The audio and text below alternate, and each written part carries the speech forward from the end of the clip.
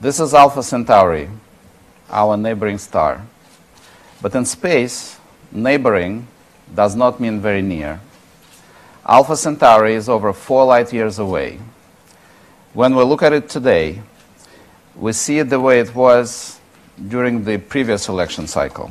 In principle, the system should, look, should work like this.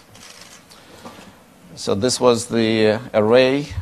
This is the mother chip, mothership releasing the, the sail. This is again the uh, beamer on the ground. This is the laser beam hitting the spaceship. The mothership releases the spaceship again. Another light beam pushes it second time. And of course, the idea is to have multiple redundancy and to send uh, hundreds and maybe thousands of them to, the, uh, to one target. For the first time in human history, we can do more than just gaze at the stars. We can actually reach them.